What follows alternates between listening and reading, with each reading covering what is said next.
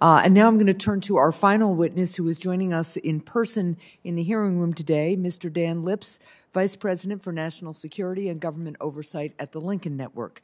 At the Lincoln Network, Mr. Lips focuses on research and advocacy between technology, government oversight, and national security. Mr. Lips began his career as an intelligence analyst with the FBI. He also served as a staff member of the Senate Homeland Security and Governmental Affairs Committee, where he worked on cybersecurity policy and served as Homeland Security Policy Director. Welcome, Mr. Lips. You're recognized for your opening statement. Thank you. Good morning, Chairwoman Hassan, Ranking Member Paul, Thank you for the opportunity to testify. My name is Dan Lips. I'm the Vice President for National Security and Government Oversight at Lincoln Network. As a former HSGAC staffer, it's a real honor to testify. I sincerely respect the members and staff of this committee and the work that is done in this hearing room. We've heard sobering testimony this morning. State and local governments face growing cyber threats that warrant a proactive response by the federal government. But Congress should be thoughtful about the resources currently available to spend on cybersecurity. GAO has warned that the nation is on an unsustainable fiscal path, including that the growing federal debt could cause a large drop in the value of the dollar and limit Congress's ability to respond to future emergencies. With that context, what should Congress and the committee do to help state and local governments manage growing cyber risks? I'll offer four recommendations. First, Congress should streamline federal rules to reduce state governments' compliance costs to allow more resources to be spent on improving security. For years, the National Association of State CIOs and the National Governors Association have urged Congress and the White House to harmonize agencies' information security rules, which are often contradictory and duplicative.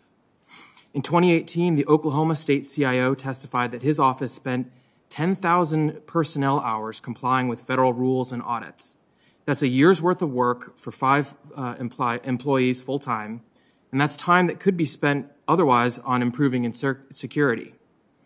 GAO has reported that OMB has issued guidance to agencies encouraging them to harmonize rules, but did not require them to do so. Congress and the committee could pass legislation to require agencies to harmonize federal rules and audits to fix this problem. Second, Congress should prioritize cybersecurity in existing Homeland Security grant programs, and states should use available federal funds for cybersecurity. I appreciate that members of Congress have proposed creating a new cybersecurity grant program, but DHS through FEMA already awards more than 1 billion in annual Homeland Security grants. Secretary Mayorkas recently announced that the department would require grant recipients to spend 7.5% of grants on cybersecurity. Congress could further increase that amount. But states and localities don't need to wait on Congress. They already have billions in unspent DHS grants and other funds that could be used for cybersecurity. According to OMB, states had not spent 50% of the Homeland Security grants that had been awarded since 2015, and 2.7 billion was still available as of 2020. After receiving 340 billion in additional funds through the American Rescue Plan, state and local governments should have resources to improve cybersecurity. Third, the federal government should share meaningful threat information and security recommendations to help organizations manage cyber risks. Over the past decade, Congress has passed bipartisan laws to establish federal programs to facilitate information sharing.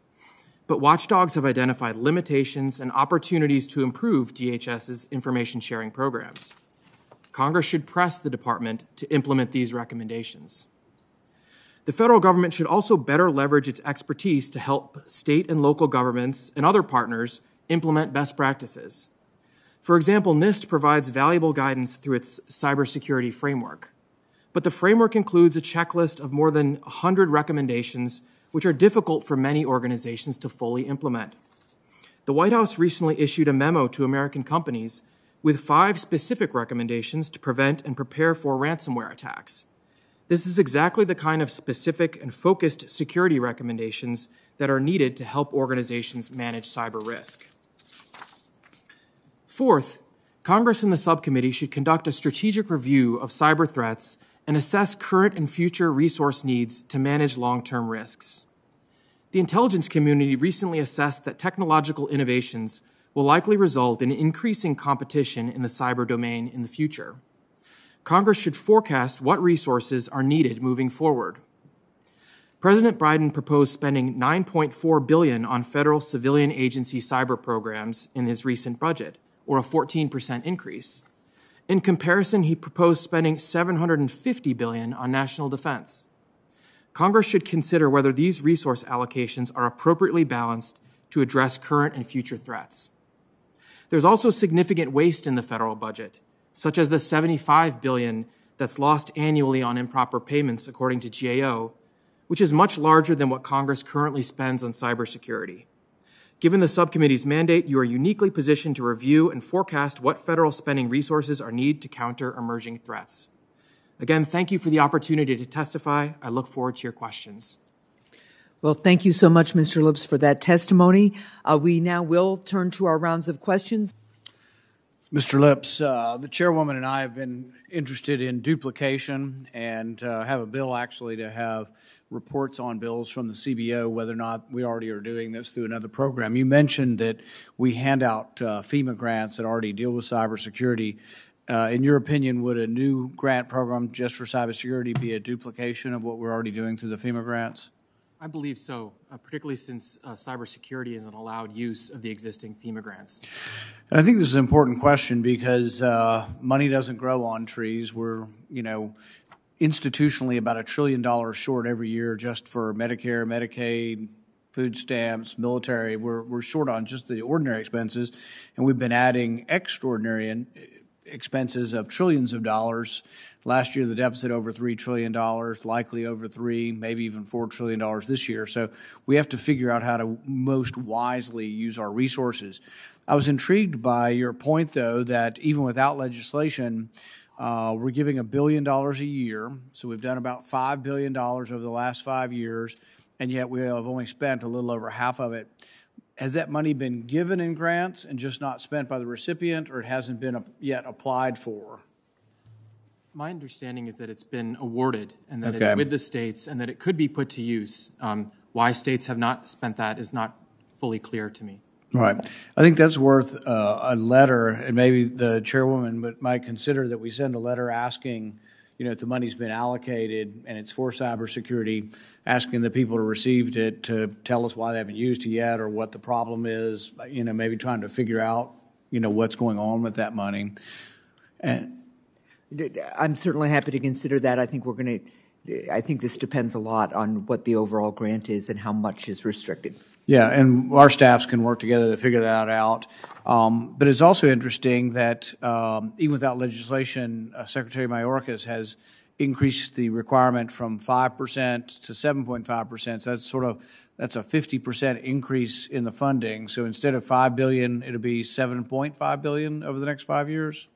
Um, sorry, my understanding is that it's uh, actually out of that pot of funding, so out of a billion, um, it's 5% is required to be spent on cybersecurity, and he's increasing it to um, 7.5%. Okay, so the whole 5 billion doesn't go to cybersecurity. It's, it's 5% of that, he's increasing that to 7.5% of that.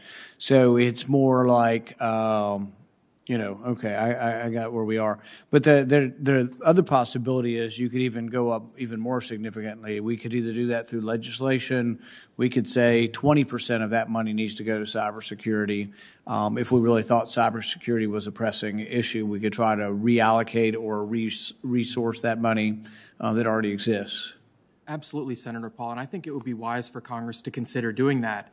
The FEMA grant programs for Homeland Security were, were expanded and created after 9 11, and the intention was for them to be risk based and to focus on existing security threats. 20 years later, um, it's clear that this has become a, a, serious security threat and should be prioritized. So it would make a lot of sense for more of those funds to be used to address these, these problems. And while I think we all agree that cybersecurity is a problem, putting it in perspective of our overall national security is an important one. You talked about weighing how much we spend on national defense. But also, there have been remarks uh, from even folks within the military community. Admiral Mullen said a few years ago that the greatest threat to our national security was actually our debt. So I think we can't, on the one hand, say we're going to throw unlimited resources. We have to be careful about where the resources are and try to redirect resources um, to a problem. If we think cybersecurity is, is a pressing issue, which it sounds like it is, let's take it from maybe less pressing issues and try to force some of the money over towards that without necessarily expending more money. Um, You know, I'd probably support legislation if we had legislation that uh, did what Secretary Mayorkas did. We could do it even more, you know, figuring out what the appropriate number is, but you could take some of, uh, more of that 5 billion and, and push it more towards national security simply by looking at those percentages. I had one other question that's kind of a technical question, and I always ask this because I'm somewhat intrigued without being a technological or a computer expert on this they it seems like the articles that you read say most of the um, people get into your system through your email. Um, is that still true? Would half the people be getting in through email, or is that a rare way they get in? It's certainly one of the ways that that uh, attackers get into systems, and certainly um, it's encouraging to hear some of the precautions that are being taken by the uh, my fellow panelists. There's a lot that can be done just to, to understand best practices uh, to improve cyber hygiene, such as not clicking on suspicious emails and other measures to. It would seem to me that it, uh, that it shouldn't be that hard technologically to wall off your email where your email has no communication you cannot get from your email to your operating system. Can you make it uh, a wall such that it just cannot be uh, uh, penetrated? That's a good question, I, and I'm not sure. I think that there's. Um, I'm encouraged by what the Biden administration recently put out as recommendations to address malware uh, and um, ransomware. Um, there's simple things that can be done, such as backing up systems, encrypting data at rest to make it less valuable to uh, ransomware attackers. There are sim- relatively simple things that can be done to in- improve organization security posture that should be prioritized. 20 years ago, as a physician, we used to back up our records every day on a floppy disk and we would put them in a fireproof uh, safe in case the building burned down or in case you had an electrical surge, you wouldn't lose all your patient data. And uh, I know it wouldn't be on a floppy disk anymore, but it would seem that there would be ways to back this up on a daily basis and uh, protect yourself. There's got to be ways. And so I think a lot of this stuff isn't necessarily rocket science. The, there are available solutions out there. Um, and I think it's important that we uh, get that get that out there uh, for folks to to to prevent. The other thing I had heard a lot was that people were doing a lot of more work from home. They'd be working on either their phone or their computer, and they hadn't done the updates. And the updates are pretty sophisticated to protect against viruses. And I'm guilty of it too, not always pushing to accept the update. Um, and that maybe that has been part of the problem in the last year as well. Absolutely, and that's some of the recommendations, sir, that was um, included in the White House's recent memo to companies update and patch systems regularly. These are basic actions that organizations can take to improve their security. Thank you.